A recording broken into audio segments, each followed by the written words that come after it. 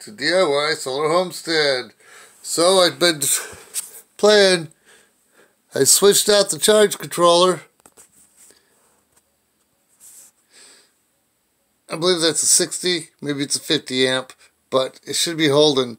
But you see the light on the left is not illuminated. So that's supposed to be for charge. So yeah, that should be good for 12 and 24. That's a big one. So anyway, I swapped the other one out and put it on the other board. So, and here you can see I am running the grow room of this one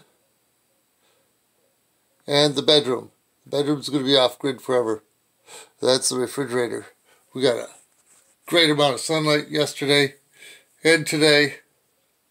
So it's no longer sunny now, but I got the most amount.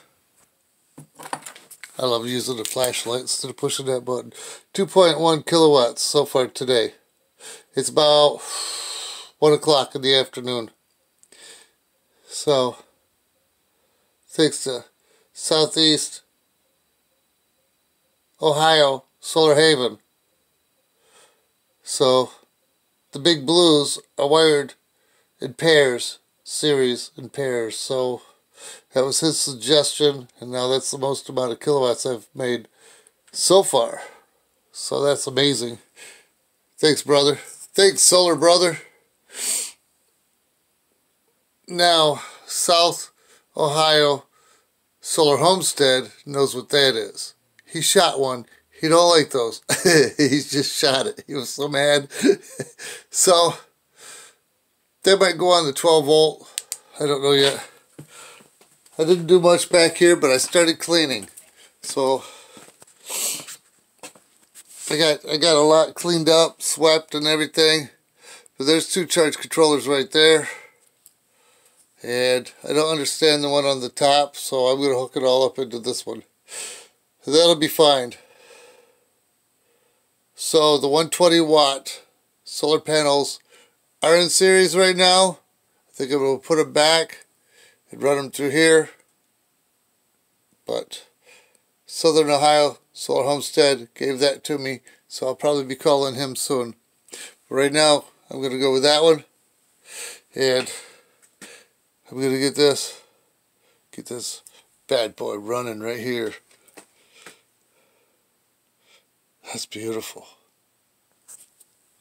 Block the light. That is just amazing. I think I saved $500 of instead of making cables just by running those rails. Next it'll be copper. copper rails. But that'll be down the road. So anyone wants to do a collaboration while I run down past Columbus. I'll be heading that way in a week or two. You let me know. We'll do a collaboration. And we'll do our magic. And share each other's channels out there. Help each other grow. I know three people I want to visit so far. And you guys know who you are. and uh, we'll go from there. But those uh, 120 watts, no, 320 watt solar panels are $200 each. I've seen them way more expensive than this. I've seen used ones for this price, but supposedly the guy bought everything he needed. These were excess. They're brand new, sitting in storage. That'll be my Christmas present with the with the bonus that I'm getting from work, the profit sharing. We call it the Christmas bonus. but there will be more panels soon. And uh, I'm still experimenting. I'm waiting for the voltage to go down. Maybe the voltage is up too high for that to charge. I don't know. But that might be the might not be there very much longer. I might just take that off there. That might just be 12 volts. And it'll go on the next board. I get three solar arrays on that board. That'll be fine. It'll all work. I'll make sure of that. Just no matter what I do, the refrigerator has to go on this. That other one was bought from Harbor Freight.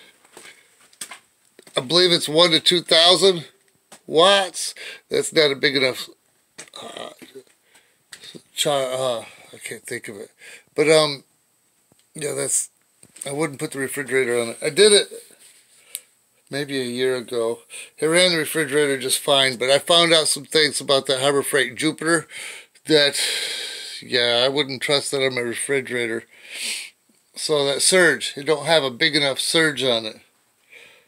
Had the pure sine wave, has everything on it to protect all of the electronics in the house, to include the furnace. And I did find out that a lot of people when they go to service your, your, your furnace, they appreciate an outlet right there. It can plug in right there. That way they can they can just flip the switch or unplug it right on the spot. That's where I'm going to set up for solar. So I could have a plug on it and I could plug the, the furnace in to the, the house electric or I could plug it into the solar. Because when the power goes out, DIY is going to have power to run the furnace, I hope the last two weeks I didn't make a whole lot of power because the clouds were crazy. But we're going to do the best we can with what we got. But that would be one more option. Instead of running the refrigerator on a power outage, I'll be running the furnace. But we also have a couple of these when it gets cold down here when we're working. Anyway, I'm still prepping for just such an occasion. And I want you to have a nice solar day.